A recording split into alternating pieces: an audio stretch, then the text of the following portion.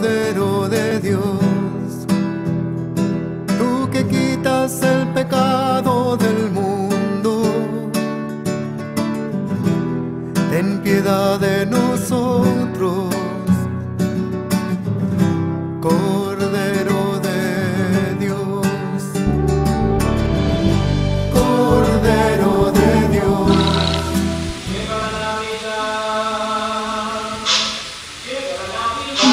Thank you.